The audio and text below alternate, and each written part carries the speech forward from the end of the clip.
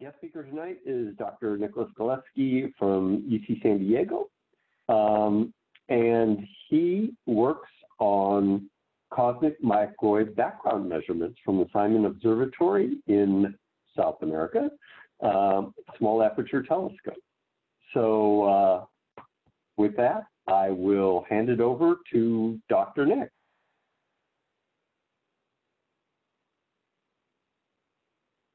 All right, thank you for the introduction and hand it over. And there we go. Uh, that coming through okay? Good, get some nods there. All right. Um, yeah, no, thank you for that that video. That sets it up quite nicely. Um, yeah, to his uh, now you all know now you are all experts on inflation, and uh, so I can go on and tell you exactly how we're going to try and observe that um, or at least some of the details there. Uh, and since I know there's a lot of people in this group who love their telescopes, um, I say I love telescopes as well. I like designing and building them. And so uh, while that was that was a great introduction for the science case, it made my job easier because now I can focus on kind of the, the fun technical details of uh, how we actually go about trying to see the first 10 to negative 31st uh, seconds after uh, the beginning of the universe uh, which is what we try to do. Um, first off, I want to start with this title slide here. Let me get my pointer up and running. There we go, laser pointer. All right, um, I want you to think about these two objects here, this guy on the right and these three things on the left, um, because these are the telescopes we are designing and building right now uh, for the Simons Observatory in uh, the Atacama Desert in Chile.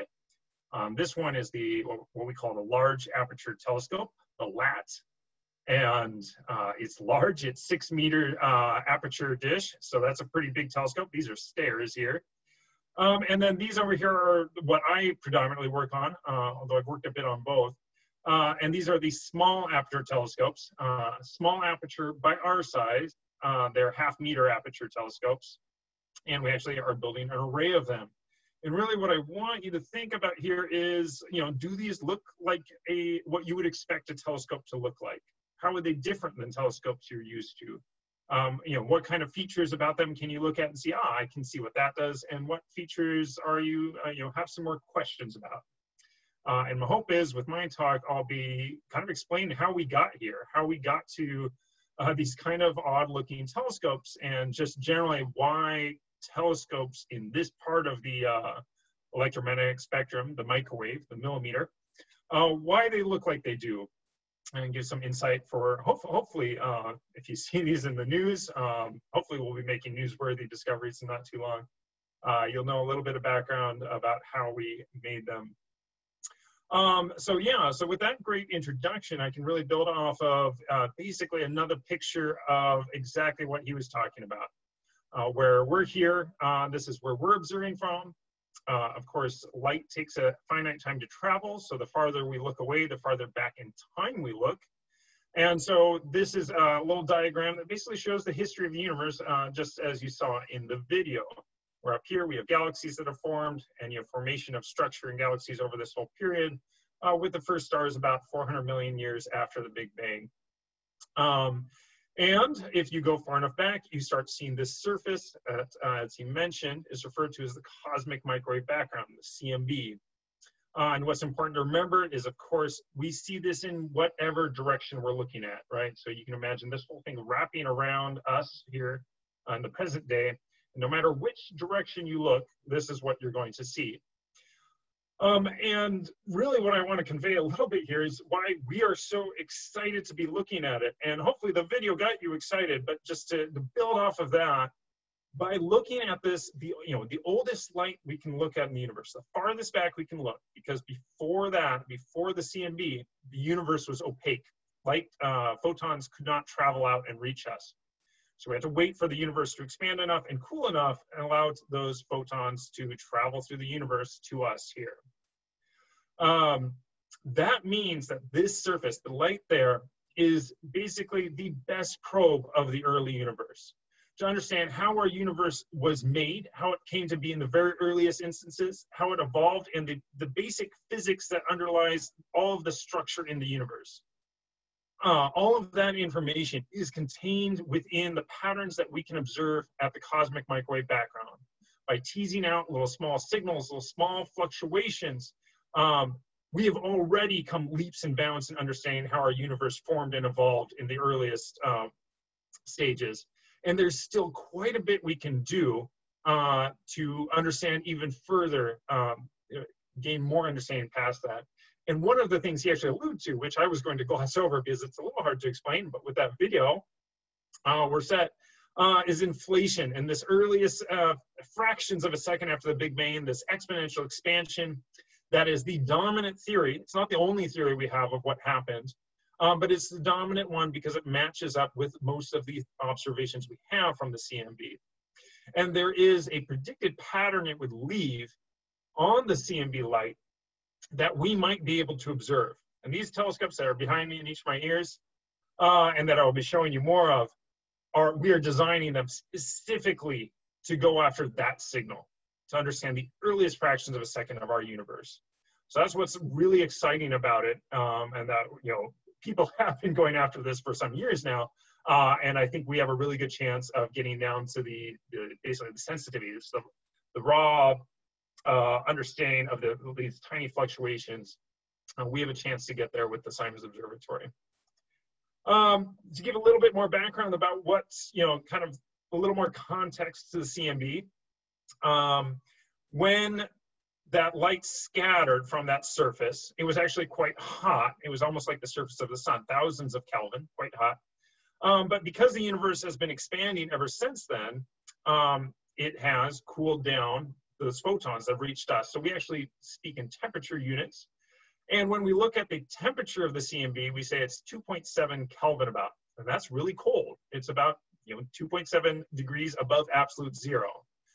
Uh, and what that means, I'll talk a little bit more about this, but what that means is the all pretty much the peak of the light from the CMB is in the microwave, in millimeter scale wavelengths, so much longer. And this is kind of between radio uh, and the far infrared is kind of where we live. And if you were able to have microwave eyes and look at the sky, it would be incredibly uniform. The CMB is this temperature across the sky to very small amounts. And, and I should point out that even just discovering this temperature was a huge deal. Again, that was kind of in the video that threw out a bunch of other theories about what could have happened uh, in the early universe. Um, but these days, the absolute temperature doesn't tell us as much. So what we tend to look at is the fluctuations. And sure enough, that's the pattern you saw on the last one, is this isn't an actual, um, this isn't an absolute measure. This is really fluctuations from that temperature. So plus or minus, in this case, 300 microkelvin. Um, but what you can think of is we're trying to measure the temperature of the sky from the early universe uh, with about one part in 10,000 is this graph between uh, one part of the sky and another part of the sky. And we're actually going after a signal that's much smaller than that because this is, you know, this is already a great map from the Planck satellite. We need to improve on that if we're going to get funded. So we're actually looking at signals that are closer to one part in a million or less. These incredibly small fluctuations in the temperature of the CMB. And that's what can tell us about what happened in the earliest parts of the universe. Uh, I should say this is our uh, this is our telescope array, the Simons array, actually a predecessor of Simons Observatory, that is uh, actively up and running in Chile, or parts of it are. Okay, so to give one more bit of context, they actually showed this image, and I love it too, so I'm going to show it. Um, and key thing I want you to think about is to remember that we're at the very center of this and no matter where you look out, you'll, uh, if you're able to see fluctuations in the millimeter spectrum, you'd be able to see these small temperature fluctuations. The other cool thing about this image is this is the entire observable universe. We are inside of there, and the only things we can see are inside of there. Okay, and that's just our section of the universe that we are able to see and sample and use to understand how the physics of the universe actually works. Um, so that's a really cool graphic and gives a little bit of context.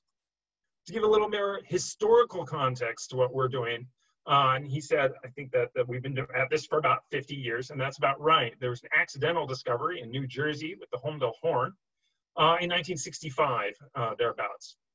And since then, that kind of revolutionized cosmology at the time over the next, say, 20, 30 years, uh, and prompted three satellites in succession, COBE, WMAP, and most recently Planck, all of which have drastically improved our understanding of the universe. Uh, in uh, kind of partnership with those, because those have effectively lag in both technology and uh, resolution, just the constraints of satellite missions uh, have been complemented by a number of other observatories, including a bunch of balloon-borne observatories that were launched uh, that made some major discoveries. And you can think of them as you know satellites on a uh, on a budget, very small budget, but they can go after very focused discoveries and have been successful at that. And then a whole series of ground-based observatories, which is where a lot of the future lies, because there's a, quite a bit of science we can do uh, beyond that inflationary science uh, with a larger mirror. And so you see, uh, this is South Pole Telescope in Antarctica. That's a 10 meter dish. You have the uh, Atacama Cosmology Telescope, six meter dish.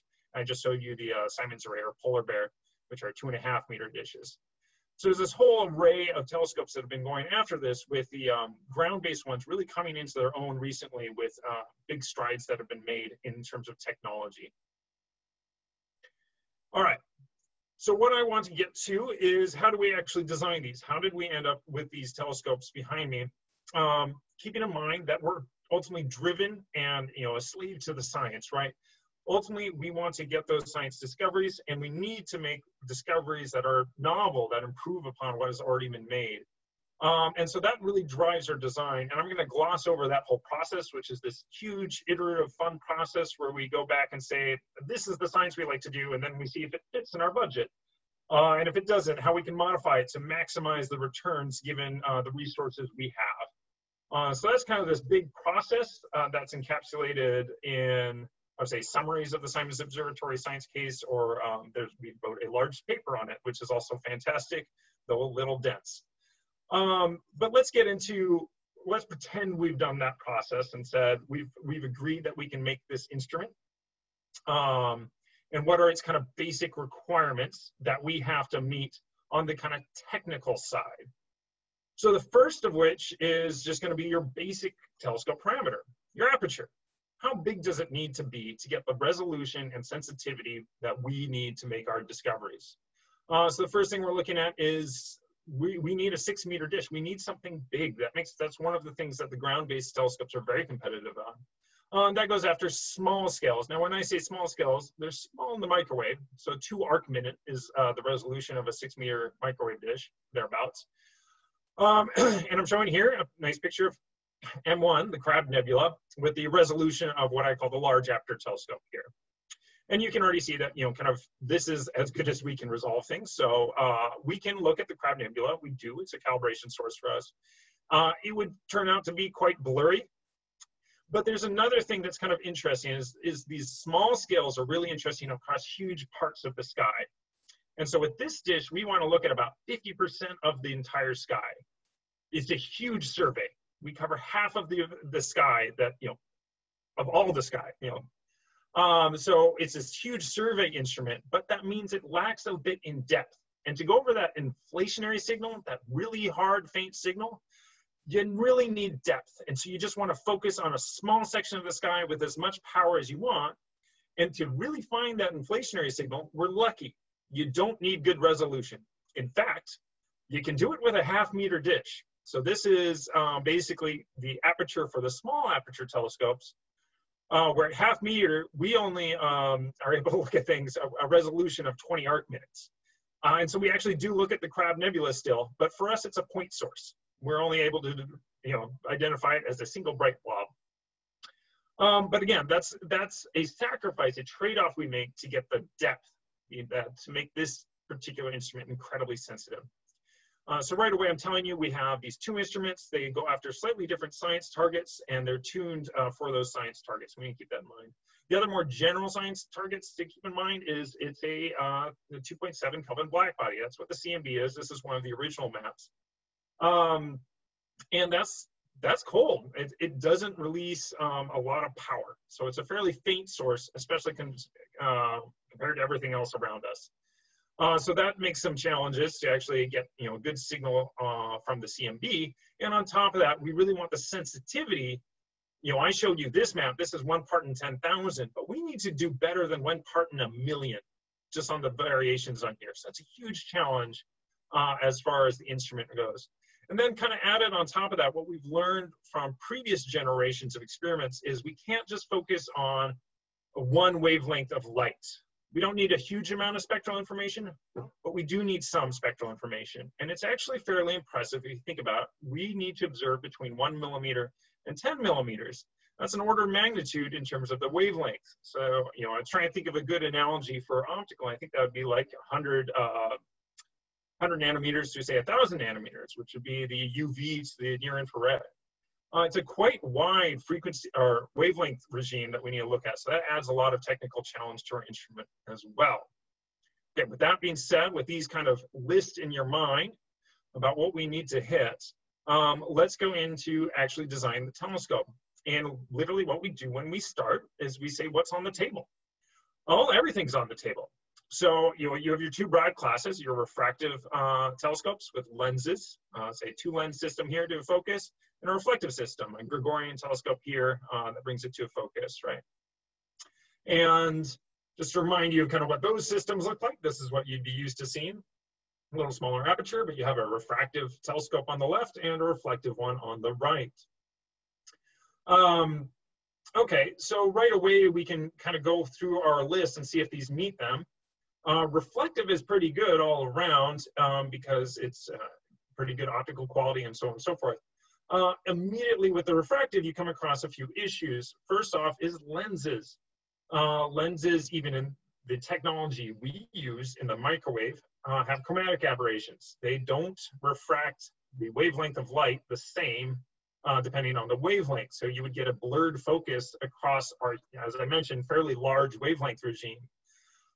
Uh, so that might not work, except I can cheat a little bit. I can say, well, I can't do all of those wavelengths in one telescope, but I could have several of them. So this is still on the table, but only if we build several of them to cover all those different wavelengths. Um, the second issue I have with lenses is, have you ever heard of anyone making a six meter wide lens? I haven't, and I don't want to. It sounds terrifying. Uh, so we, we definitely don't want that for the large aperture, but our small aperture, a half meter, can I make a lens that's about a half meter on size? And the answer is yes, with the technology we have, um, that is something I can do. So, okay, so neither of these is ruled out, but there are some challenges. So let's get to the first challenge. The floor is lava. A little bit of exaggeration, but let's, uh, let's get into what I'm talking about here. What I'm talking about and what I uh, often come across in these lectures is uh, uh, talking about black bodies. And it's something I deal with every single day and that we deal with a lot in our telescopes.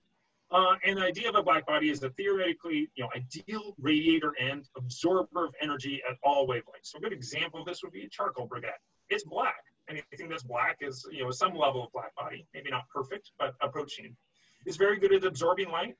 And if you were to look at the like far infrared or whatever temperature it's at, it would actually be glowing quite hot. It would also be radiating light. Uh, and you can think of that if you heat it up, it will radiate light. In the near infrared, you, you can start actually seeing it. You start seeing it glowing red as you increase the temperature. Um, and that's true, say, the old style of light bulbs. Uh, if you heat up a filament like that hot enough, it'll get about the same spectral response as the sun. Um, so this is just to say that pretty much everything is some level of black body emission of light, um, including the CMB and uh, including most of the things around us. So looking at some more examples of that, uh, a obvious one is the sun. It's about 5,000 Kelvin. It emits as a black body at, at visible wavelengths. Okay, great. Um, let's go a little bit cooler. Let's go humans. Here I am. there we go. The beard. Uh, and you can see that humans, we're about 300 Kelvin or thereabout. We emit really brightly in the infrared. If you have an infrared camera, you can go check this out. Beer is a little colder. It emits at a lower wavelength. Um, and then, to make life really difficult, we go to the CMB. The CMB is extremely cold, 3 Kelvin, just above absolute zero. If you like Fahrenheit, it's negative 451. Um, and that means it's longer wavelengths, microwave wavelengths. Okay. So now you have something that says humans or the room around us emit light at infrared. And the CMB, the thing we want to look at is emitting light in the microwave. Uh, so this kind of starts getting into the problem we have. And there's this wonderful thought experiment a former uh, advisor of mine came up with, which is, uh, say I were to blindfold you, and I told you to go outside and find the sun blindfolded. Could you? Well, yeah. You just hold up your hand, right? You, you can find the hot part of the sky uh, with your with your eyes closed or blindfolded, right? Um, that's just to say that the sun is a lot hotter in your hand, and it's a lot hotter than anything else in the sky. Uh, and so you're able to tell where the most photons, where the most energy is in the sky pretty easily. Okay, what if I were to tell you to do the same thing, but with the moon? Moon's hotter than the sky. Um, but the problem is your hand's hotter than it, and it's uh, generally you just get a lot of noise. It's not a very good detector for something that um, that cold. However, can do a fun trick. You can dip your hand in liquid nitrogen, and then it would be colder than the moon. And if you could feel sensation still after that, uh, you would be able to find the moon in the sky. Obviously, don't try that at home. Okay, so this kind of gives you an already clue of where I'm going with how we build our telescopes, which is uh, if you have this really faint signal from something cold, like the CMB, and you have all these other hot things around it, the floor is hot, the ground is hot, the telescope is hot, everything's hot, they're all releasing these photons that are clouding your signal. How do you get better at that? Well, you cool it down. You cool everything you can down, and that drops the noise from all these other black bodies around you below the signal level of your CMB. So this is kind of the basic principle here about uh, what we need to try and do to make it easiest on us, and easy relative, cooling down things is hard, but it makes it easy to uh, get the CMB signal we want to go after without having to spend forever uh, staring at the sky to try and tease it out. Okay, so let's go back to these telescopes. Look at these two designs, refractive and reflective, and what I've just told you and what issues we might have. Let's first start with the refractive one because that's the obvious one where lenses become a bit of an issue again. They're transparent, but they're not 100% transparent. So not a black body, they're not absorbing all radiation, but they absorb some. And if they're absorbing some radiation, it also means they're emitting some radiation. And that means they're a noise source. So what's the solution to that? You cool them down. If you can put the whole thing in a cold environment, then you're fine. That's kind of what we do. That's that's our first requirement here. Is if we are going to build a refractive system, we need to cool the whole thing down so that the telescope itself doesn't add a bunch of photons, you know, and stuff that is noise to the CMB signal we want. Okay, so that's good uh, for a refractive system. How about a reflective system? Now the mirrors themselves are reflective, and this is key. If something is very reflective, that means it's not very absorptive. So that means the amount of light they're getting into our signal, the amount of noise they're contributing is small. But there's a minor detail we got to keep in mind, and that's the secondary mirror here cannot float in space. You have to hold on to it somehow. And so the struts that you hold on to that you see in a lot of optical telescopes are a big problem for us, you know, not least because they block some of the light, which isn't great, they cause diffraction, which is another complication you have to deal with uh, as far as scattered light. Um, but they're also warm. They also emit light into our beam that um, can cause additional noise. Fortunately, there's a really easy solution that lets us keep using reflective. And this is something, if you see any CMB system, it's almost certainly one of these. It's an off-axis system. So I'm showing an off-axis Gregorian, and it's basically like saying you had a mirror and you had a secondary mirror, and instead of centering everything along the primary axis, um, you just use a section of mirror that's off axis. And uh, same with the secondary, you just use a section of that, it forms a nice focus over here. Okay, so great. We have a refractive system and a reflective system that we can continue to use to observe the CMB. Uh, keeping in mind, there's this nice focus here. That gets us to our next problem. I need to take a picture of that. I can't exactly put my eyeball there and hope to see the CMB on draw it, you know, on a pad. I have to have a camera of some sort. I am going to gloss over a category of detectors that don't need to be cold uh, to take these photos. Um, I do that because while they have done some impressive measurements before, they've, they, they're much less common today. And what you see now is you see cameras that are primarily composed of some form of a bolometer. So I'm going to introduce you to our equivalent of the CCD you know, the revolutionary technology of the uh, submillimeter through microwave uh, part of the spectrum. and that is uh, a bolometer, which is bolometer. It's a heat uh, measurement. That's all it is. Uh, I'm showing a picture here. Key to point out, this is a dime. So this is a single pixel of a telescope that JPL made. Uh, and you see this little spider web pattern there. Uh, and it is in fact called a spider web bolometer if you want to look it up. Uh, that is used to absorb the radiation. It's on the same scale as the, say, millimeter wavelengths that are coming in. So this is very good at absorbing millimeter wavelengths and not absorbing other wavelengths. Um, and why it's trying to absorb that radiation is because in the middle there, right, the spider that's sitting at the center of the web is in fact just a really, really good thermometer. And so this is this uh, resistive thermometer here. You have power coming in. Uh, this absorber absorbs it. The whole pad heats up. And by how much it heats up, we can tell how much power came in. And that's our signal. That's it. I want to know how much power I got from the CMB by looking at one patch of the sky. I just see how much it heated up. Um, so that's a, you know, kind of the basic principle of how these works with obviously some added details. The challenge here, the really trick of it is, is that same thing with trying to find the moon at night with a hot hand. You really need to be colder than the thing you're trying to look at. The thing we're trying to look at is three Kelvin. That means pretty much all bolometer technologies I know of that use uh, look at millimeter wavelengths are 0.3 Kelvin or colder. So I want to repeat that 0.3 fraction, just fractions of a degree above absolute zero. This is incredibly cold. Um, and you have to be that cold for these types of detectors to work. And again, as I've said, these are the most sensitive detectors we can make. We, we've actually maxed out on that. We cannot make a more sensitive detector. We actually use a slightly different style that uses a superconductor as the um, as effectively the thermometer, uh, but it's the same principle. And um, and so that's forcing us into kind of the next regime I'm going to talk about, which is cryogenics.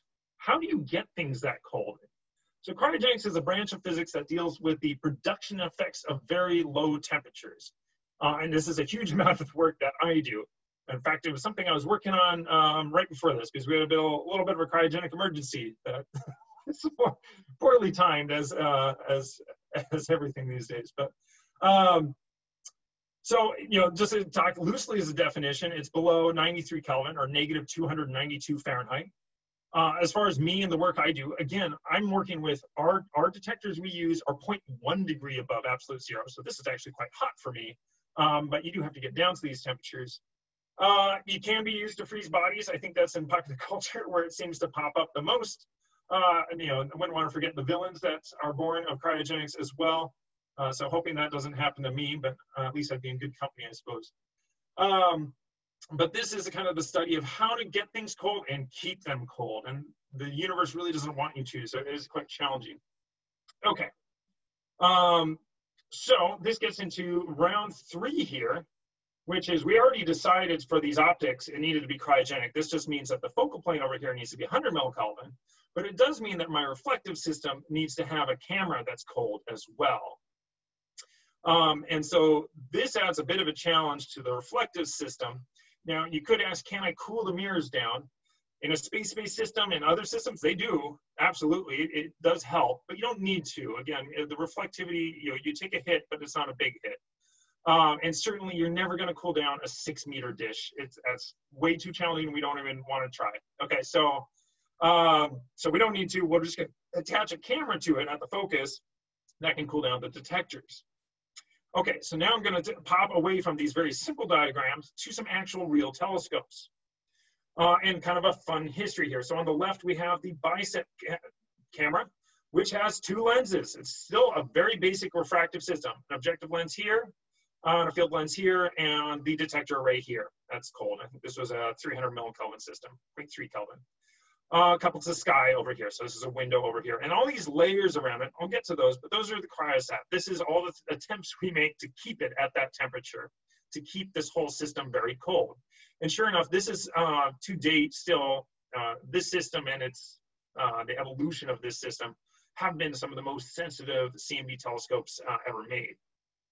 Uh, on the right, you see another telescope that I mentioned briefly, the Atacama Cosmology Telescope, which is a six meter primary dish in this off axis configuration with a secondary, and sure enough, is coupled to this camera that has, uh, is a cryostat that keeps the detectors, etc., cold over here. I also wanted to mention just kind of a fun bit of history here, you know, personal connections to these. Uh, my graduate school advisor, former advisor at UPenn, he was one of the PIs, the, the principal people working on this telescope ACT. So I have a little bit of background there. Uh, and my current advisor, Brian Keating, he actually wrote the paper I stole this uh, figure from uh, back in the day when he was on the team. Uh, he was leading the team designing this telescope. Uh, so came, came by it honestly uh, as far as kind of the interest in these types of systems and how they've evolved in the last 10, 20 years.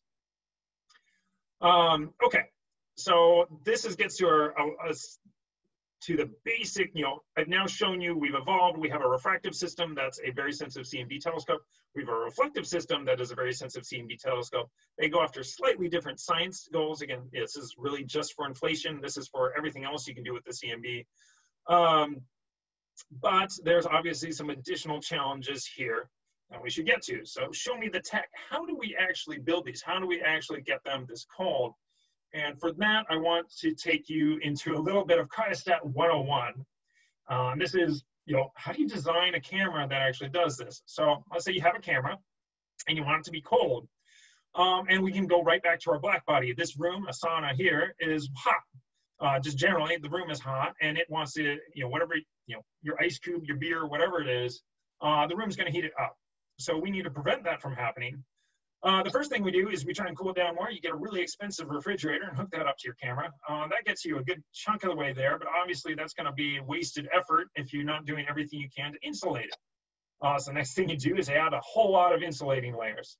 Um, this is actually accurate. I think we have basically four main stages to protect the camera. Um, air is pretty conductive, so we don't want that. Get rid of that, uh, make it a vacuum inside there. Um, and then um, you need some mechanical supports to hold everything up. It can't just float there. Um, and then, of course, you know, this is a, always a detail that we hate, but uh, it's not good if you're taking a camera picture and you're not recording the image. So you got to hook, you know, a bunch of wires to all this to a computer. That gets a little challenging. Uh, and then the worst part of all of this is we've done all this great effort to isolate our camera from the room uh, but what good is that if you aren't letting in the photons? So of course we do the weirdest thing you can do in cryogenics, which is take your nice isolated system and pin a big hole in it. Um, and of course there's a window here to keep the vacuum and a bunch of filters. So we, we have filters that don't just define the photons we look at, but they're also there to reject all the infrared light that's trying to transfer that heat from the, you know, the black body as the room, the atmosphere, whatever else, that heat transfer uh, from the hot black body to your cold uh, camera. Um, so that's kind of the basic of it. Okay, so kind of getting back into it. Round four, let's get around to uh, our final iteration here, which is we have it, we have technology, um, we, we build a whole system around this, and what does that look like?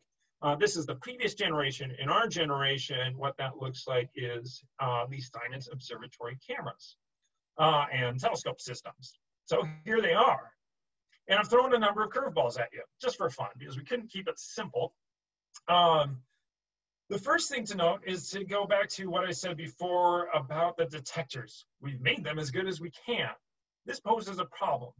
If I want a telescope that is more sensitive, um, I can improve certain things like the optics and you know cooling other things down and improving it, but there's only so much I can do there uh, the only other real easy way to get better sensitivity in a fixed amount of time is more detectors.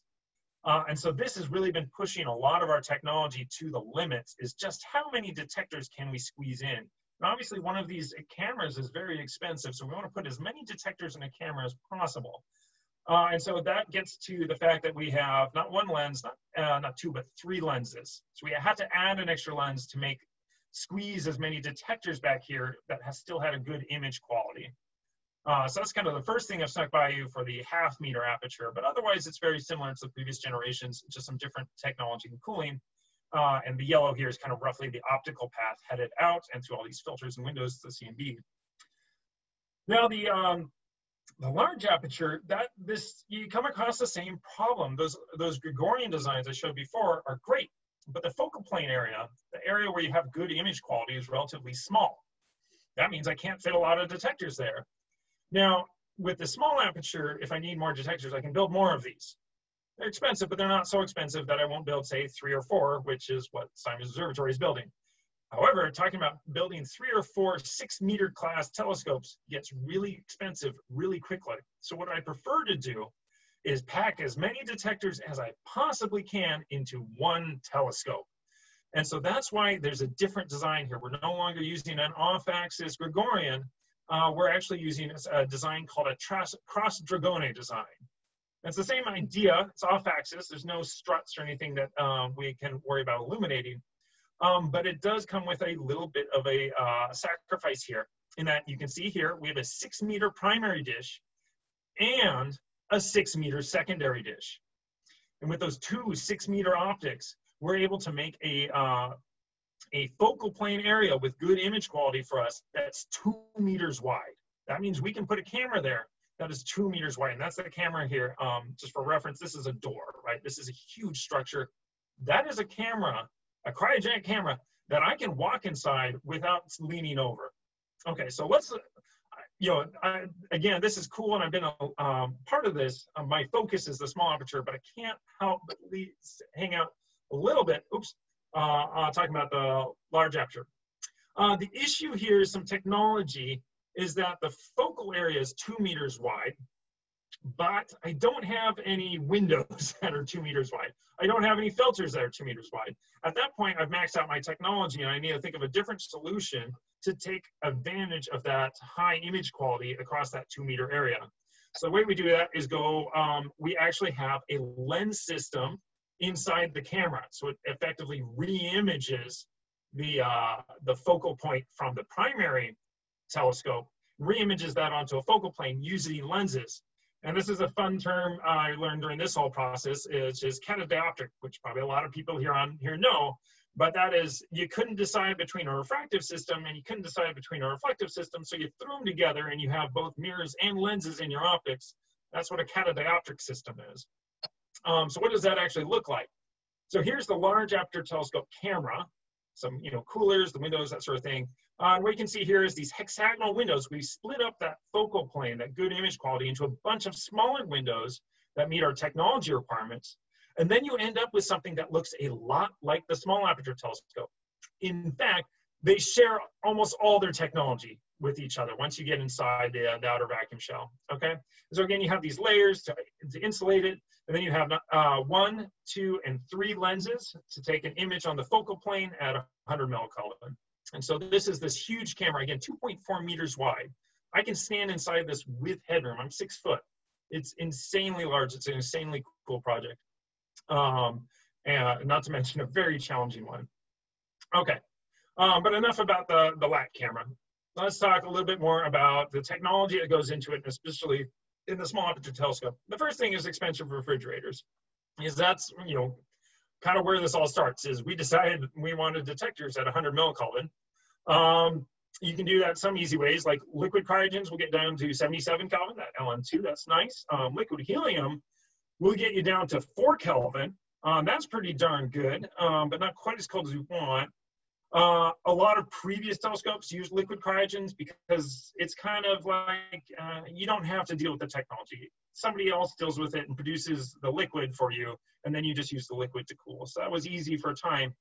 But liquid helium is very expensive these days, and the technology to get down those temperatures has gotten much cheaper. So we don't do that so much anymore. What we do is use something called a pulse tube cooler, uh, which is in fact used to condense liquid helium. But uh, we use it to cool the first and second stage of our, our um, cryostats, uh, 40 Kelvin stage about and a 4 Kelvin stage.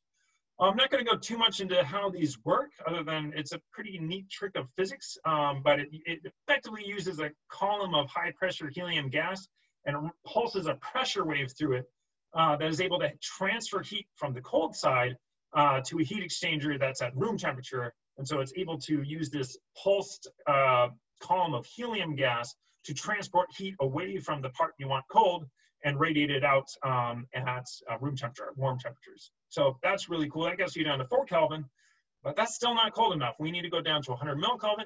How do we do that? We're really lucky that there's a now a commercial technology we can just buy to do this. It didn't used to be the case. Um, called a dilution refrigerator. And dilution refrigerators are just fantastic devices. Uh, and again, I won't get too much into the mechanism, but the, the long and short of it is a It uses two isotopes of helium, helium-3 and helium-4. And kind of like oil on water, they want to separate out. But due to a quantum mechanical effect, an interesting a physical effect, small amount of the helium-3 will dilute into the helium-4. And when it does so, it absorbs heat.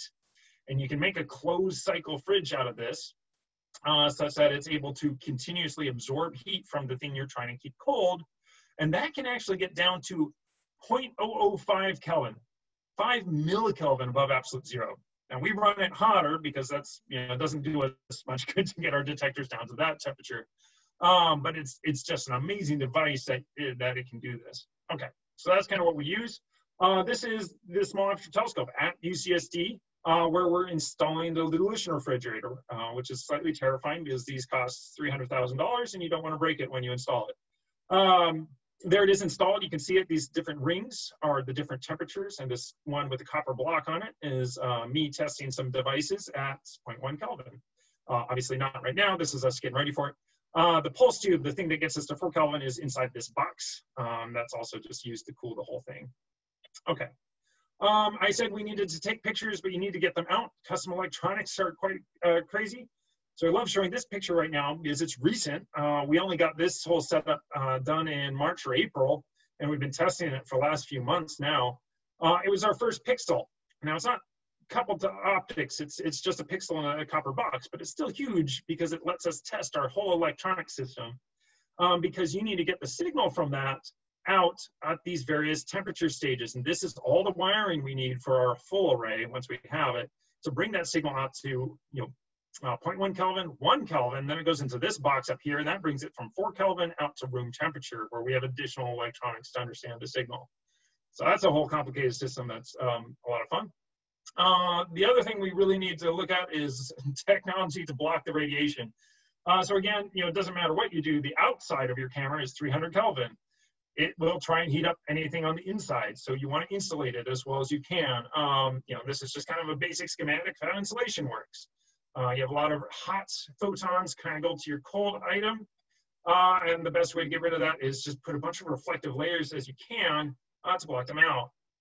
What we call that is multi-layered insulation. Very basic acronym, but we do love our acronyms.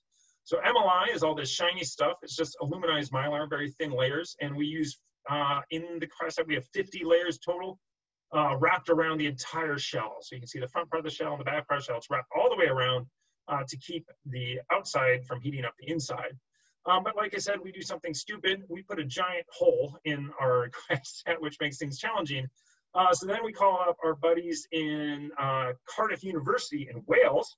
There's one place in the world that's able to make these filters that are really good at reflecting all light um, that isn't microwave light or thereabouts. And so these are, are what we call infrared filters in that they block infrared and shorter wavelengths.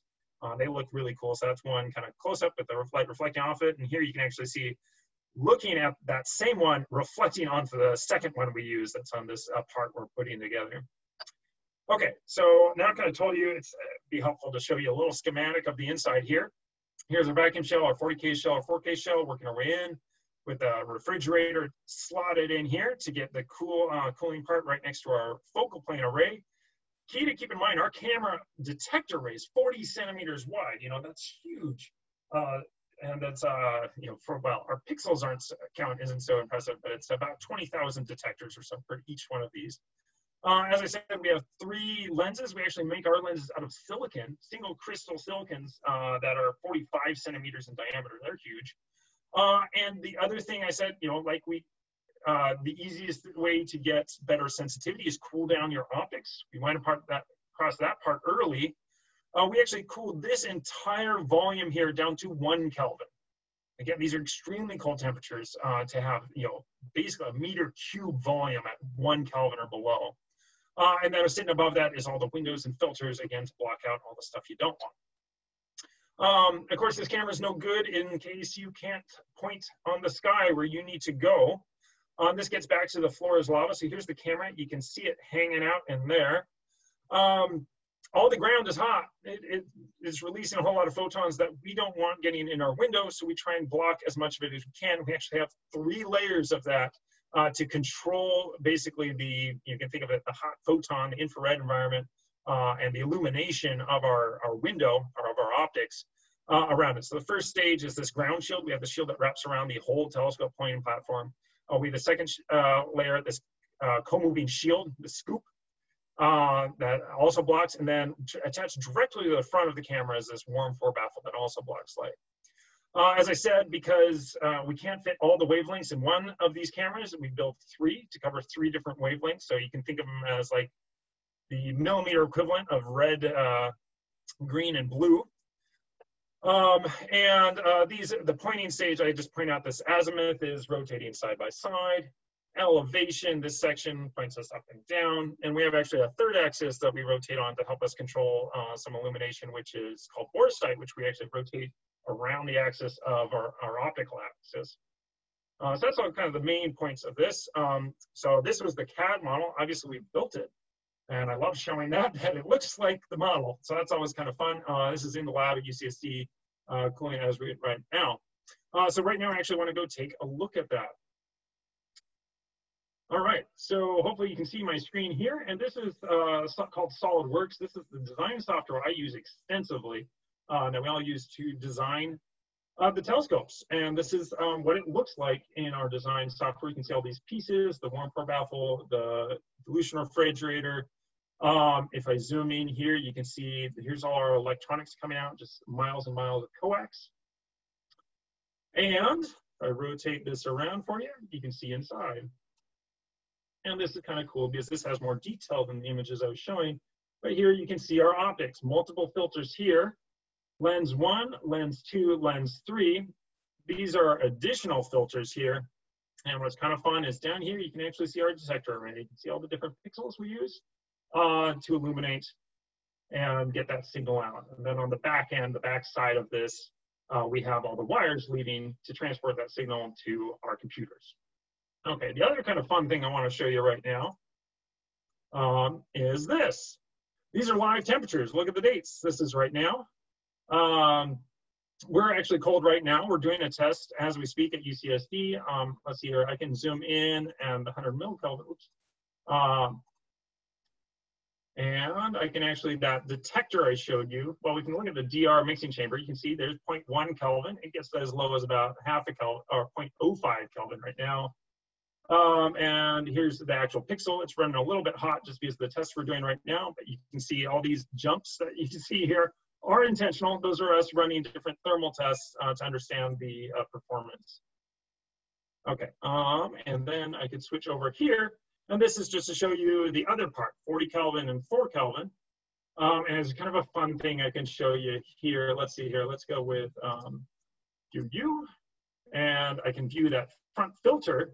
And some of these are tests um, but what you're actually seeing is the day-night cycle in our high bay because uh, like many things in San Diego, we don't have air conditioning in our lab. It's just open to the ambient temperature. So you can actually see day-night cycle. Now this was a test, um, but you can actually see this week's heat wave in our temperature data just because we're coupled to the room and it heats our entire uh, cryogenic system up to some degree. Um, so that's kind of fun to see. All right. All right, so um, with that, you know, that's kind of where we're at now. We're we're uh, fully functioning camera here, and we're getting ready to go. Um, and we're in the middle of our testing and integration and trying to get all of those different parts together, all that different technology I was talking about, to actually get a fully functioning camera, um, so we can take it down to Chile and start looking at the CMB. Uh, so at that point, I'll open it up to questions uh, from anyone and everyone, uh, and hopefully you have a few for me. Thank you. Okay, well, then I'll start off with a question.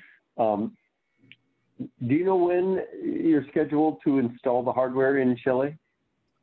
Yeah, now, well, as with many things we say, we have a schedule. Uh, it's not looking so great right now. Um, but uh, normally we are supposed to be going out that this fall. Obviously, that hasn't happened. Um, currently, you know, currently, to be quite honest, Chile is still in lockdown. We we can't even get our personnel to the site, and they need to lay the foundations and other things like that. We're mm. hoping we'll be able to get to that soon. Um, but right now, to be realistic, um, 2021 would be the loose date. we'll get the the first camera, the one at UCSD, on the sky. So that is the first uh, camera going to Chile for the Simons Observatory, is the one we're working on, uh, which is a really a privilege to be able to work on that instrument, the, fir the first light instrument for Simons Observatory. Um, I would like to say we're going to go there spring, early summer, um, but that's you know obviously pending things picking back up again as far as the the research goes. Uh, so we'll see, and uh, hopefully the condition in Chile continues to improve. It has been getting better, but it still has a better ways to go. Okay. Uh, anyone else have a question? A uh, question. Go ahead. Uh, go ahead. So um, you will be able to detect any polarizations informations from these detectors? Yes, indeed. In fact, that was something I entirely glossed over. Um, yes, uh, these are actually polarimeters. In fact, the, the absolute temperature signal uh, is, it's still interesting. There's still a lot we can do with it, but really a lot of the science and the next generation of telescopes is polarization. And that is largely um, because the satellites that were launched um, the, the latest one, Planck, did have some polarization capability, but wasn't optimized for it. The cameras I'm showing you, all of these are, are every last detail is optimized for the polarization signal. And in fact, that is the signal that will tell us um, about inflation is these really small, when I talked about a millionth of a you know, degree fluctuations in the CMB, that was polarization fluctuations. That's the polarization signal. Uh, so you, it's an incredibly astute uh, question. Is like, yes, absolutely uh, these are through and through polarimeters, and that's our main science. Next question. I was wondering about funding. Um, knowing that COVID has delayed just about everybody's project from here in whatever, is that going to affect monies that would normally be spent within a quarter or a certain time frame, or is that already captured in what you've already manufactured in the form of your of your telescope? Oh, that's a, that's a great question. Um, so um, I think I can go. There, there's about two two parts to this. So the first is uh, the you know Simons Observatory is named after a guy named Jim Simons. Uh, he's a billionaire who likes science and has done some really great uh, philanthropy. Uh, and the lucky part about that is we're we're pretty confident that that funding will continue to come through as planned. So it hasn't actually disrupted our funding. And in fact, the Simons Foundation, which this is run through, um, has you know committed to keep all of our staff funded, um, you know, and uh, paid throughout this time period. So we, we're really fortunate to not have any disruption there. Uh, but I do want to say, you know, kind of speaking beyond that, I have many colleagues who are working off of, say, government funding, NSF funded, um, some of which uh, our research is funded by. Uh, and so far, we haven't seen disruptions in that. And we have seen obviously big disruptions in, you know, scheduling in terms of, um, oh, you mentioned Alma. Uh, you were correct. Alma is our neighbor they're down the road from us. They're great. Um, we like using their infrastructure. Um, as far as I understand, all their funding is still secure and, and their staff are good to go, but they've shut down the entire observatory. Pretty much any government-run observatory, well, any observatory really, uh, is shut down. I want to say that mostly. I think there's a few of the optical ones are still running for observation time. If they're if they were already set up for mostly remote and didn't need much site work, um, then then they might still be running. But uh, I know Alma's completely shut down. That's a problem for us because we actually um, built off of their infrastructure. So one thing I can tell you about is to go to our site, we need to have a medical team on, on standby effectively. Uh, traditionally, we have used Alma's. We have an agreement with them that says if we have a medical problem, we give them a call on a radio and they'll come and help us out because they have much better infrastructure than we do. Um, is uh, they're they're a billion dollar facility. They're amazing. Uh, got all the bells and whistles. Um, but that's doesn't exist right now. So part of us, you know, we're in a kind of a desperate place because we really need to get these foundations laid because there's only certain times a year you can actually do it. Um, so there's a lot of permissions we need to jump through, but one of them is just having medical personnel on a site, which means we need to find medical personnel to hire to go there as long as Alma is shut down. And of course, Alma can stay shut down much longer, uh, you know, than, than we can with with minimal impact. So the long and short of that is the funding so far has continued to come through, but the, the schedule disruption and costs incurred from that schedule disruption are certainly noticeable.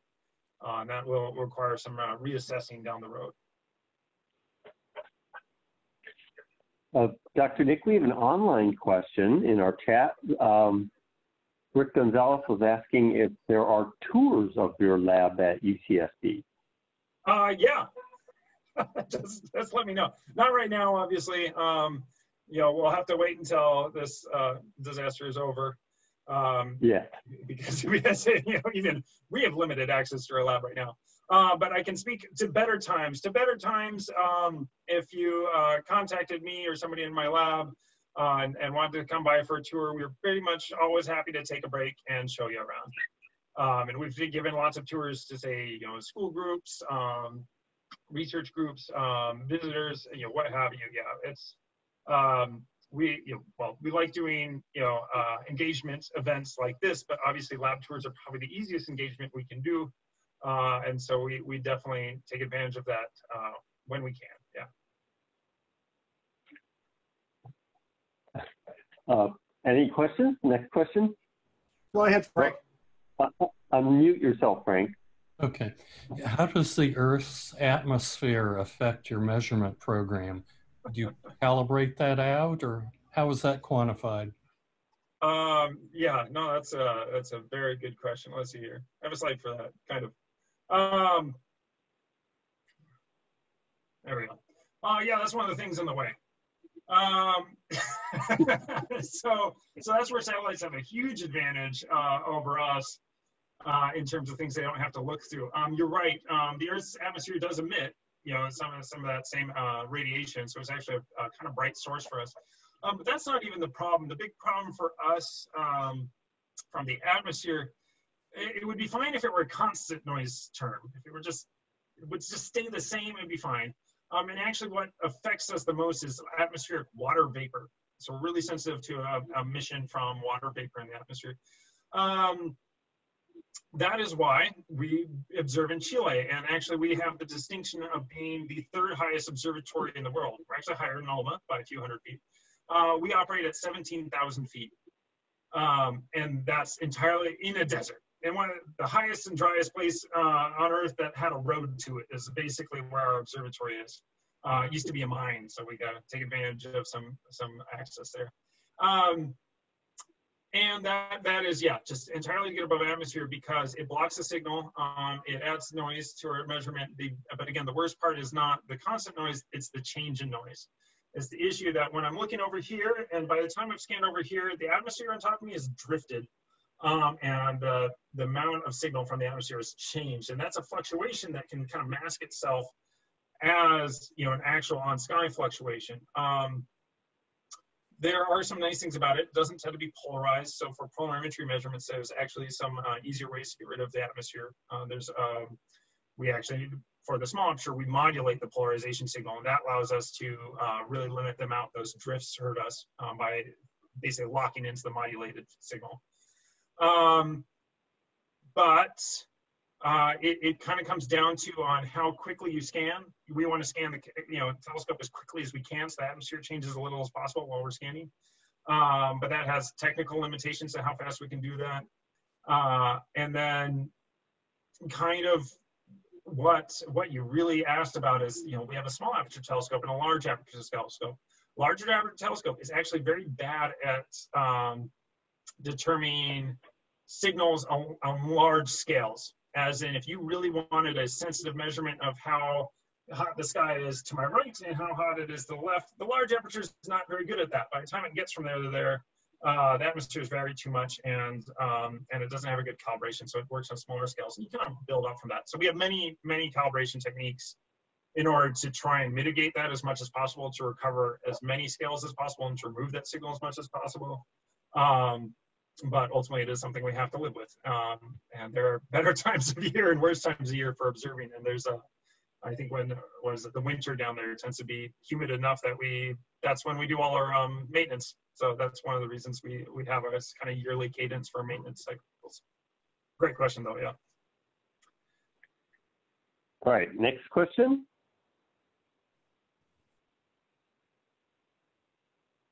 Okay, well, I have a follow-up question then. Um, Nick, Dr. Nick, um, your uh, polarization is uh, capability, is that because you're looking for primordial gravity waves? Right on, so, yes. Which polarizes uh, the CMB in a particular circular patterns.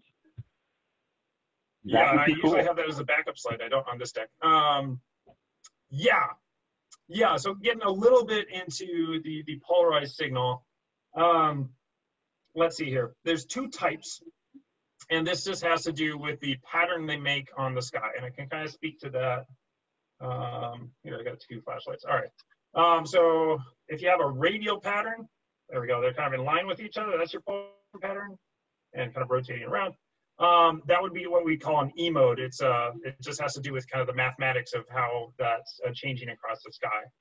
Um, so this is to say you've gone and measured the polarization of the CMB, and the CMB is polarized, and that E mode signal, that kind of linear Mhm. response, is um, uh, is entirely expected. If, if this is a natural uh, artifact of having, say, a spot in the CMB that's slightly hotter and a spot that's slightly colder, and scattering off electrons between the two will produce a polarized signal that looks like that. Uh, that's well understood, and we've measured it really well. What you're referring to is what we call B-mode polarization, or the polarization from primordial gravity waves, and it has a curl component. And so let's see if I can do this. Um, it's really hard to do with just two, but uh, the idea is it actually has a handedness, so that if you mirror it, it won't look the same. Yeah, and then it's just- Yeah, so it's a handedness to its uh, the pattern it makes on the sky. Um, and that handedness, that kind of swirly pattern, if you look at the, the maps of it, uh, can only be produced by, well, three things. And this kind of gets back to the, uh, this gets back to the image I'm showing right now. Uh, the three things that can produce it are primordial gravity waves, which would be lovely to discover. That's what we're going after.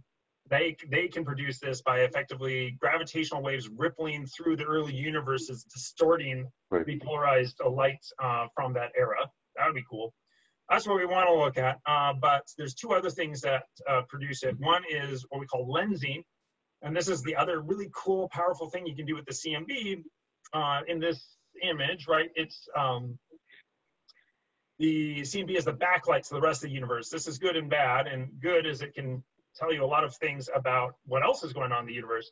Uh, the bad is if you're trying to understand what happened very at the CMB, all this galaxies and galaxy clusters and all this mass between you and the CMB will actually distort the signal. It will lens it like a gravitational lens.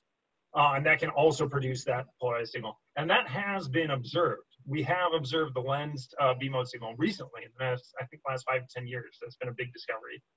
Um, so that's really cool. Uh, the third thing Mhm. that can produce it that was um, the downfall of BICEP not too long ago. Uh, their results was the galaxy. The galaxy actually has, um, and so that's why I have the Milky Way up here. Is things in the way. Uh, the galaxy is really cool. It has these little dust grains that align with magnetic fields and uh, and radiate at about 20 Kelvin. They're warmer than the CMB, but they're really bright and they're pretty well polarized. Uh, the light from them, uh, and they can mimic that signal.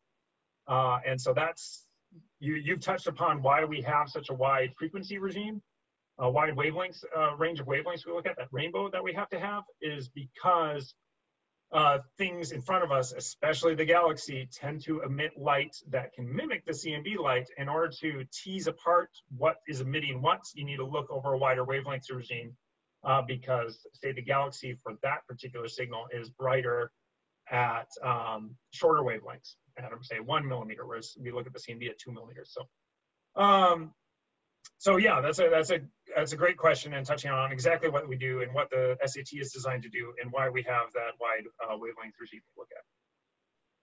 And, and you've learned from the BICEP uh, Yeah. activity and uh, improved your hardware and your approach. That's really cool. Yeah. Another question? Uh, Nick, I have a question. Uh, Dave Decker. Um, when you have the telescope up and running, will you have to go through some kind of a process to measure the instrument response like you would a spectrometer? Oh yeah, no, that's actually a lot of what we're working on right now. Um, uh, a huge amount of our effort at the moment is trying to understand how to properly calibrate the device. Uh, and, and we actually have a hard time with this because uh, we don't have, there are very few microwave sources that are point sources. Now there's planets, we actually look at planets as a calibration. Um, But for polarization, I, actually Tau A Crab Nebula is one of the polarized sources we can look at, but it's not very good because it has extended structure. It's not really a polarized point source. That creates a lot of challenges. Uh, so we have a number of calibration devices uh, that we try to, uh, that we're building right now to work with these telescopes to understand their response. Uh, there's some really basic ones, like we can just put a polarized grid in front of it and rotate the polarized grid and see how the polarization signal changes to calibrate the, say, the angle on our detectors. Uh, there's some simple stuff like that. We can look at the moon. We actually do scan the moon because it's a really bright source for us. And um, you can calibrate your, your detector's response based off of the moon. Uh, and also planets for point sources, that sort of thing. Um, to understand our, say, spectral response, we're, we're, uh, we're, we will have to attach a spectrometer to the front of our uh, telescope uh, th that allows us to basically scan through a spectral response to understand what the uh, frequency response of the, our beam is. Um, you're actually, actually, you guys are giving me the easy, the nice questions. Um, uh, coincidentally, I, I, have a Fulbright scholarship to go to Chile. Well, nominally next February. You know, we'll see what happens with that. Sometime in 2021, I'll be going to Chile to work with a uh, professor there who's building a a polarized uh, source, so it's a, a, microwave emitter, and he's putting it on a drone, so we can actually fly it above the telescope in our far field. Um, and so that it's really hard to do. Um, the South Pole telescopes do something kind of similar. They have a really tall mast uh, that we that they work with, um, but they're able to point lower than we can uh, because uh, the South Pole doesn't have mountains and it's colder. Uh, we have mountains and they're quite hot. So pointing low for us is, is why we have all these ground shields and uh, other protection methods, which make it harder to do some of these calibration methods. And that's why we're getting to more exotic things like flying drones around above it. Uh, but it should be a lot of fun and hopefully it works and that will give us, um, you know, this whole suite of tests that we do periodically um, to, to understand our intensity response, our polarization response, our absolute polarization angle calibration, um, our spectral response. Yeah, the whole whole gamut. Yeah. Great question. Thank you. Another question? Go ahead, Frank. Yep. What about the frequency bandwidth or the range of wavelengths you're looking at? What information does that tell you? For spectroscopy, often that tells us a lot of things. I assume it's a lot of things you can do with that information over that wide range there? Um, let's see here. So bringing up our frequency bands. Um, uh, so these are lower frequency bands. This would be their our red equivalent in the microwave. Our mid frequency bands, this is where the CMB peaks. And then our high frequency bands, uh, these are in gigahertz, so sorry. Um, but you can think of these as around a millimeter. These are around 10 millimeter. Um, so this is what we're looking at. I'm actually showing the atmospheric transmission, which tells you very quickly why we chose those particular bands, um, because we're kind of right at the edge of the uh, radio window before it all, all goes uh, south in the, uh, the uh, submillimeter spectrum. Um, so what, what are we doing with these bands? Um, the, we really just care about the CMB. And that's not to say there isn't galactic science we can do, there is, and it's really cool too. Um, but really the reason this is funded, the main focus of this is the CMB. And so that's where we focus most of our efforts is the 90 and 150 gigahertz bands, these middle bands. That's, and the reason why, it just gets right back to what I was talking about, is the CMB, a three Kelvin black body, if you look at it, uh, peaks uh, right at about you know these frequencies. So that's the maximum amplitude of the CMB signal we're going to get. Um, why we have these lower ones is for a, a understand a foreground and this is the kind of key thing i want to tell you is we don't really have a spectrometer you know uh, resolution because we don't really care about the whole spectral response we want the minimum amount of information we can get to tell us what the galaxy is doing so we can remove it from the cmb signal in the process we learn about the galaxy which is a good side benefit um, but it's not really focused on that so these lower frequency ones are for synchrotron radiations. So this is uh, electrons spinning in magnetic fields in our galaxy produce a polarized signal at uh, radio frequencies. Uh, that can alias as a CMB signal, a CMB polarized signal. So that's why we have these lower frequency bands. And then the higher frequency ones are what I was talking about. It's spinning dust grains in our galaxy's magnetic fields, uh, also emitting polarized light. Uh, and that's a black body at 20 Kelvin. And so its amplitude is actually um, up here in the about uh, a thousand, you know, uh, terahertz is actually where that peaks. And so its spectrum is falling, although also quite bright. Um, so that that basically, you know, explains our full frequency range. Is you have the CMB ones, you have the lower synchrotron ones, and you have the higher uh, galactic dust ones. And with their powers combined, we really hope um, that will allow us to remove the galactic contribution and focus on the CMB science. Oops. Um, So, so, so it's a bit like a six Oh, narrow go band filter. Yeah, so six, they're about, um, I think 30% bandwidth. Uh, they're not particularly narrow. In fact, these probably aren't really giving them justice as to how wide they are. Trying to think if I have a, s- a actual spectral thing, but um, I, you know, I'm kind of showing this, but it, I think it takes up a little bit wider of this. And so, um, yeah, I wouldn't define them as narrow band, not particularly broadband either, but somewhere in the middle.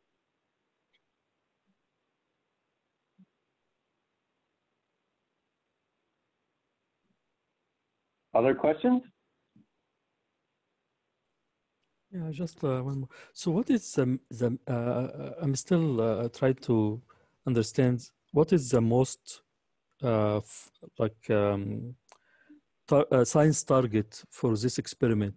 So what we're trying to, basically, what is the most like important goal, science goal in this project?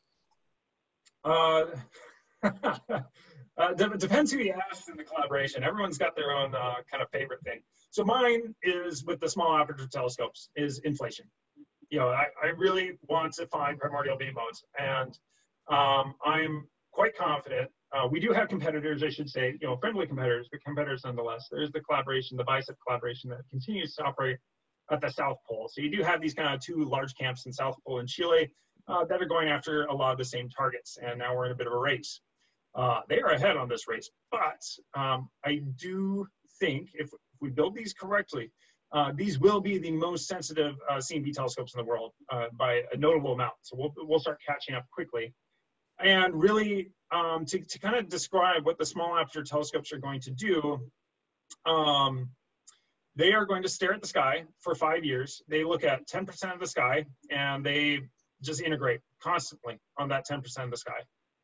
Uh, and that's just to drive down the sensitivity limit as, as far as we can and as quickly as we can uh, to go after that primordial B mode signal that could be an indication of inflation.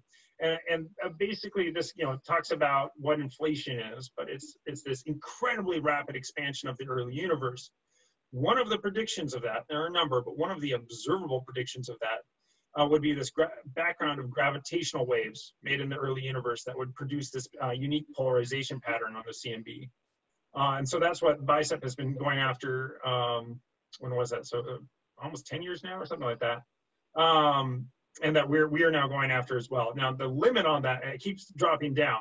And here's the hard thing is if inflation isn't the right theory, or even in some, some classes of inflation, the signal could be zero.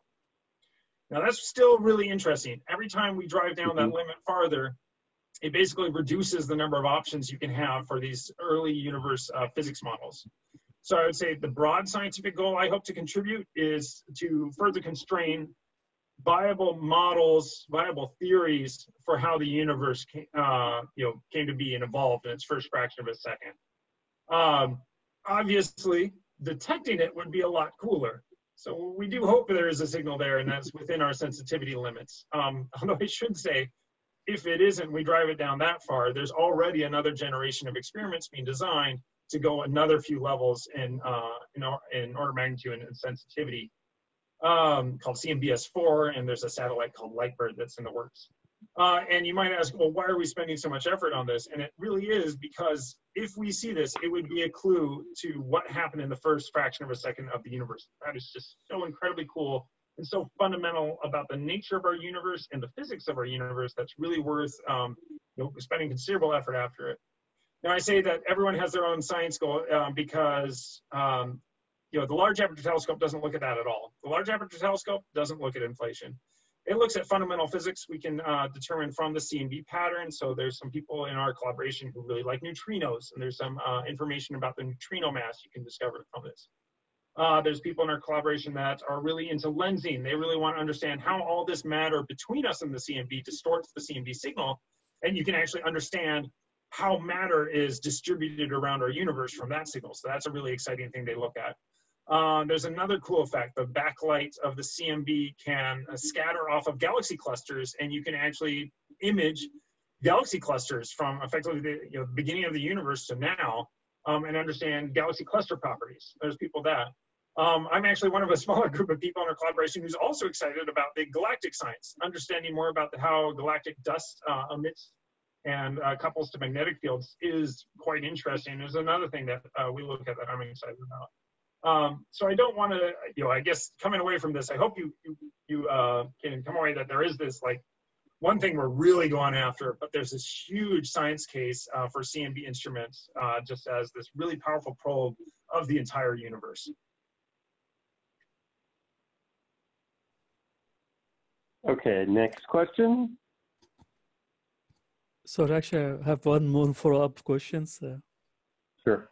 Um, so do you think actually like if the South Pole uh, Observatory actually like they call their instruments to the same level, they gonna basically be competitive to this experiment?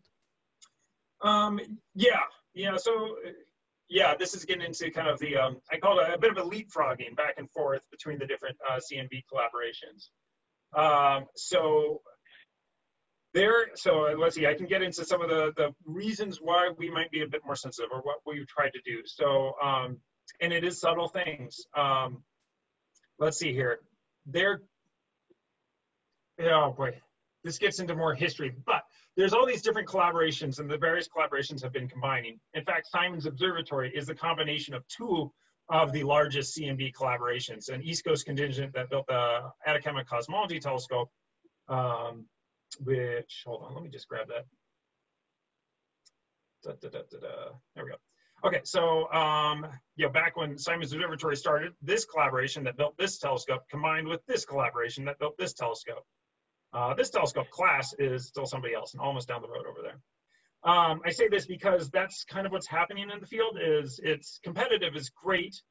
And a discovery of this magnitude would need a second observation to basically back it up with completely different systematics. So in this way, Chile and Antarctica are extremely complementary that if either one actually found this, the second observation of it, the confirmation of it would be also incredibly powerful and really necessary for the, the kind of, you know, faintness of the signal, how hard it is to actually observe.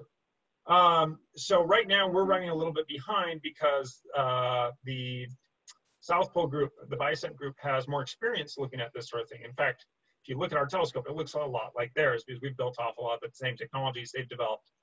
Um, and they're building a new array right now, and they've actually started to get that on Sky. They're like about a year ahead of us or so. Um, but that array, I'm just going to point to two technologies where we we we kind of pushed a little bit further to get better sensitivity to ultimately make ours a little bit more powerful. Uh, one is the optics. Our optics are at one Kelvin. Theirs are at four. That seems like a small difference, but you know, integrated over a few years, it, it makes a difference in terms of uh, the speed at which we can get to that sensitivity. So that's one part. Uh, the other part is they actually use a simpler, well, maybe not simpler. They use the same detectors technology, but um, a slightly simpler architecture in that each one of their pixels uh, detects one, um, one, one linear direction of polarization. Each of our pixels actually detects both uh, the linear directions of polarization. And so in that sense, you know, each area on our focal plane has twice as many detectors. Uh, and so that, you know, makes one of our telescopes worth about two and a bit of theirs, you know, depending on how you do the optics. Uh, they do have other advantages over us, though. They have six months of night. They don't have to deal with like the sun or the moon. it's, it's, it's, much easier for them observing wise uh, during the Antarctic winter. Um, they, although they're now pacing, you know, age of COVID, it's worth mentioning that the Antarctic season for the next year is basically shut down. Uh, they're going to keep personnel down there to keep things running, uh, but they won't be able to deploy new instruments. So that's just kind of getting into the infrastructure in Antarctica is harder than in Chile traditionally. Um, so it, it's a close competition. You know, it might be, and I think, you know, I'm, I'm taking a while to answer this question.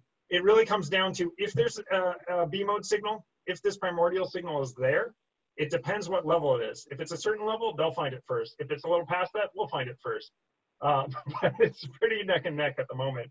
And the next iteration, CMB S4, which is a Department of Energy funded experiment, uh, will actually unify almost all major CMB collaborations, including Simons Observatory with the South Pole groups. It'll just make one giant uh, CMB collaboration, and the instruments in that will um, will kind of be pushing to the next level if the, the signal is even lower. Uh, hopefully that answered your, your question about kind of the dynamics of CMB uh, Yeah. right now. Yeah, I appreciate it actually. Like, yeah, very good insight. So, do you think actually, like, uh, um, like, uh, out of this experiments, actually, like, someone will get a Nobel Prize? um, always chasing it. No, I think I think if we detected it and it was a confirmed detection, I think that could happen. Yeah, yeah. That that is the anticipation that it's that fundamental of a discovery. So, so Nick, after One you never knows what the win Nobel- that Nobel, after you win that Nobel Prize, will you come back and do a nice presentation for us about uh, what it was like to be in Stockholm? uh, I'll give you a presentation, but I won't be going to Stockholm. That's hired me. our, I think our author list is something. Well, I can just tell you. In Simons Observatory collaboration, there's 300 people. Um, so I'm, I think I'm pretty high on that author list, but it's um, there's some very talented individuals in there, and it's uh, so a lot of people. And Not of the course, it's always the people who got the the- funding. I have to share the prize. Hopefully, yeah. Hopefully, if we get it, I'm sure we'll throw a party. If parties are allowed. All right. Uh, how about the last question? Do we have a last question out there? Yeah, I have a question. Nick, would you like to introduce your family members that are online? Because I can't believe there's too many Galitzkis wandering around the world. Oh yeah, you uh, you told me um, that uh, yeah, it's a public thing, so I invited my family. It's an age of COVID and Zoom. There and yeah, oh, speak up. This is Ted Galitzki here. Nice going, Nick. Hey, hey, Dad. Where are you? Uh, I'm in Port Townsend, Washington. Ah, Ah, I, I could. I noticed the name, and I could see that it was actually light outside wherever you were. So you had to be further north than we are. And I see my sister's on too, Sasha. She's up in uh, she's up in Canada right now, so uh, yeah, managed to get a few people on. well, welcome to both of you. Thank you. We have an, uh, Aziz, you wanted a question? Well, Walter, at, at one point in time, at least on my screen, you were directly below Nick. And well, let's just say there is a family resemblance there. Well, there you go. Beard helps. Go ahead. Aziz, you had a question? Yes, I do, Dr. Galitzki. I may have missed this part. You may have mentioned it already. This device, are you scanning the sky or are you just traveling with, with the Earth? Or and Oh if yeah, you're, if you're um, scanning, how, how much can you point? That's a that's a great question, and yes, we scan. Um, so get back to this. So this is the the azimuth stage. So this whole section up here, um, let me get my pointer back. This whole section up here rotates side by side. I will say this is of gets back to the atmospheric question. Is we do have a weird scan pattern. Let me get into it because it is, I think, actually a pretty creative solution. Um, we scan at a fixed elevation. So almost, you know, unless we're going after like a calibration source like a planet or something like that, uh, we'll be pointed at 50 degrees above the horizon and we'll scan back and forth. And the reason is because of the atmosphere. If we change elevation, we change uh, the column of atmosphere we're looking through. And so we'll see a big change in our signal, uh, which we don't want. So we tend to do these fixed elevation scans where we swing side to side. Um, and the other thing is with polarization, and actually this is another advantage Chile has over Antarctica, um, is we we scan as basically yeah the the sky rises up through our field of view, uh, and we can get the polarization direction in one direction going up, and then we'll actually turn around 180 and look at its setting. And that's actually a way to control our polarization systematic because we um, basically get sky rotate, we call it sky rotation, but just because of the sky moving over us rotates that polarization angle so that we can sample it in different ways and that helps us control our systematics. Uh, but yeah, that tends to be our, our uh, control. Uh, I can say on azimuth, uh, I forget what range we have, but it's like 400 degrees. So we can do, uh, we can do an owl's worth of turning, I guess.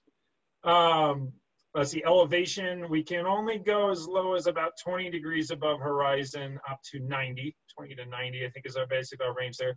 You can actually see we have, um, oh God, I'm forgetting the name of it right now. This big pole back here is, uh, is our elevation drive. Uh, so it's a, uh, God, I'm forgetting the name of it. Anyway, uh, jack screw, maybe that's the right name. Anyway, uh, that's our elevation drive. And then the weird one we do is again to understand polarization systematics, you know, basically to better calibrate uh, how the polarization signal changes is we rotate the whole camera uh, so that we directly induce a polarization change. And so what we would do is we scan a section of sky, pause, rotate the camera, and then go back to scanning that section of sky. Uh, so we don't do that as often because it's a little disruptive. Uh, but that boresight actually did leave it in here. Uh, it's a little bit of a technical detail, but we can rotate the whole camera plus or 98 degrees uh, around the optical axis for the, that control. Yeah, great question. Thank you very much. Okay. Last, last question. Dr. Nick told up really well. I'm really kind of impressed you can talk that uh, answer that many questions. Okay, I think that's it for tonight. I want to thank our guest speaker, Dr. Nick. Everyone, uh, give him a little hand, round of applause and thumbs up for a great presentation. Thank you very, very Thanks much. for having me. Al- Always a pleasure. You know, you guys always give me some tough questions, so I appreciate that. okay. All right.